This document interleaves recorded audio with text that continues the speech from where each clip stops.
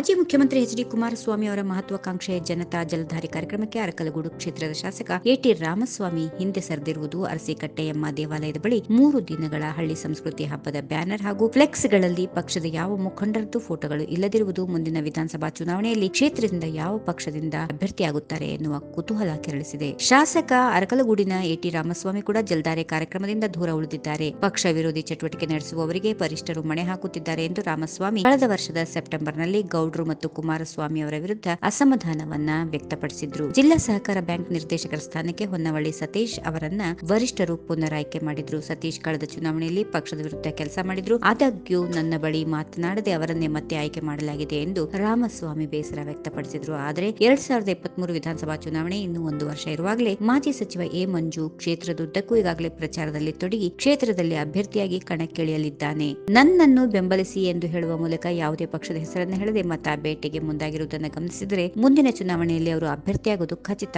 ಎನ್ನುವುದು ತಿಳಿಯುತ್ತಿದೆ. ಆದರೆ ಶಾಸಕ ಎಟಿ ರಾಮಸ್ವಾಮಿ ಪ್ರಚಾರದಲ್ಲಿ ಹಿಂದುಳಿಯದೆ ಪ್ರತಿ ಗ್ರಾಮಗಳಲ್ಲಿಯೂ ಒಂದಲ್ಲ ಒಂದು ಕಾರ್ಯಕ್ರಮವನ್ನು ಆಯೋಜನೆ ಮಾಡಿಕೊಂಡು ಬರುತ್ತಾ ನನ್ನ ಕೆಲಸಕ್ಕೆ ಕೂಲಿ ನೀಡಿ ಎಂದು ಸಾರ್ವಜನಿಕರನ್ನ ಮನವಿ ಮಾಡುತ್ತಿರುವುದು ಈ ಇಬ್ಬರು ನಾಯಕರು ಯಾವುದೇ ಪಕ್ಷದ ಹೆಸರನ್ನು ಹೇಳದೆ ಸ್ವಂತಿಕೆ ಪ್ರಚಾರಕ್ಕೆ ಮುಂದಾಗಿರುವುದು ಸಾರ್ವಜನಿಕ ವಲಯದಲ್ಲಿ ಅಚ್ಚರಿಯನ್ನ ಉಂಟು ಮಾಡುತ್ತಿದೆ.